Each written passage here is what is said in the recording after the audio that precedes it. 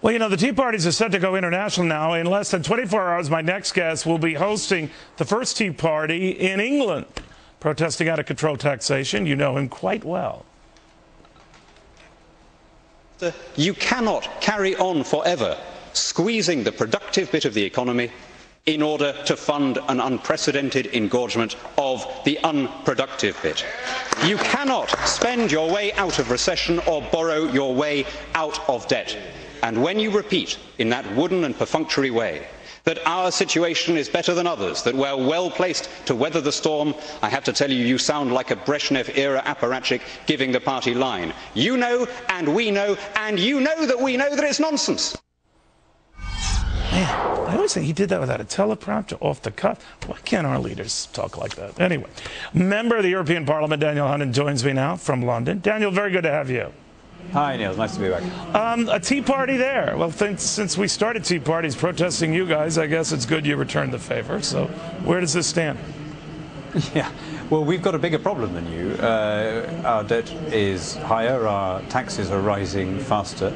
Uh, this government has raised an additional trillion, an additional trillion, over and above what we would have raised in taxation uh, if taxes had stayed at the previous level since they got in in 1997. So we've got a great deal to protest about. But as you say, I mean, this is England and not the US, so we're, we're going to be drinking tea at our tea party tomorrow rather than dumping it in the English Channel.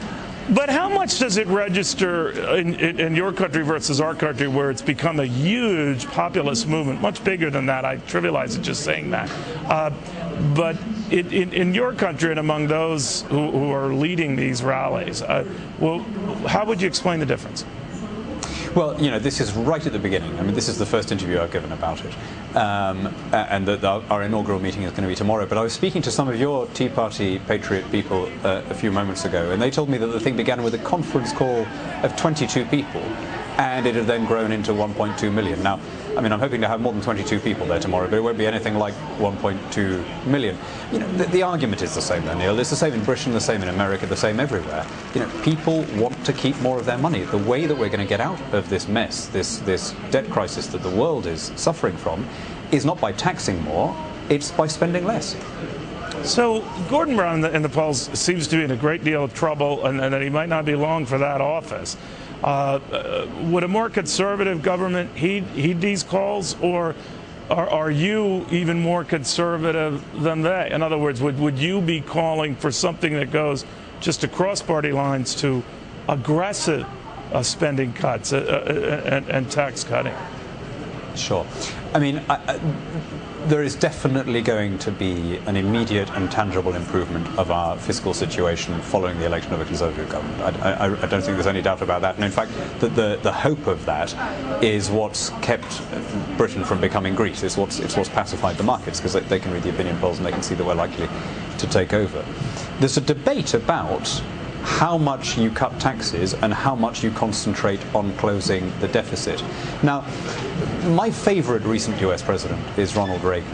And I remember a brilliant uh, moment when he was asked whether it was right to keep cutting taxes when the deficit was growing. And he gave that wonderful smile and he said, I'm not worried about the deficit. The deficit's big enough to look after itself.